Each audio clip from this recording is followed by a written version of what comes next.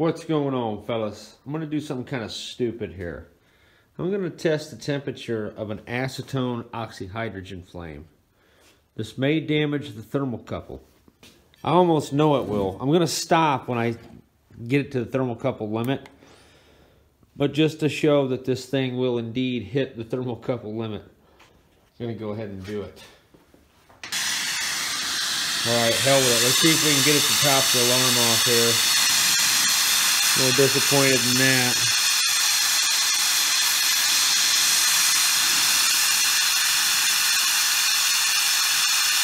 This is one hot ass Ford Texas here.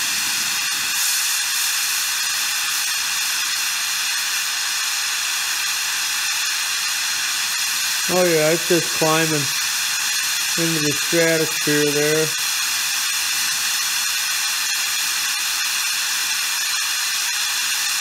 Okay, so 4,000 basically, or 2,400 is the limit, I guess.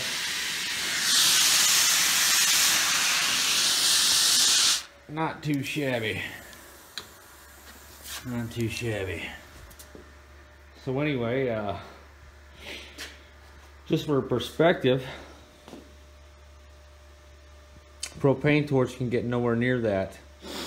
That's an oxidized flame, so obviously it's going to do that. Now, a pure oxyhydrogen flame would have melted that thermocouple. I may have already damaged it. I just had to see that. Pretty cool, though. I'm also going to do some flame test temperatures on these other uh, burners. Believe it or not, one of these is way hotter than the other.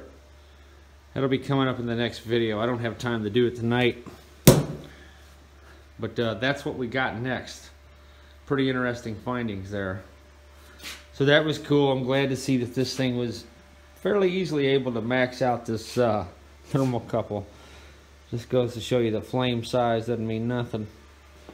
I'd like to get a thermocouple capable of actually measuring the, the, the max temperature. If anyone has any advice on um, what they suggest in doing that, let me know.